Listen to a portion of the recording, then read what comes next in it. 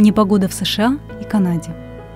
Дорогие зрители, если вы хотите иметь постоянно свежую и объективную информацию об изменениях климата, ставьте лайк, подписывайтесь на наш канал, пишите комментарии, и мы будем освещать интересующие вас события. На территории Соединенных Штатов Америки установились аномальные морозы. Национальная служба погоды предупредила население страны об угрозе переохлаждения – в Айове, Массачусетсе, Индианаполисе и на северо-востоке Огайо ожидается понижение температуры на 11-17 градусов ниже климатической нормы. В этих округах из-за непогоды закрыты школы. По прогнозам специалистов, снежный шторм надвигается и на территорию Канады.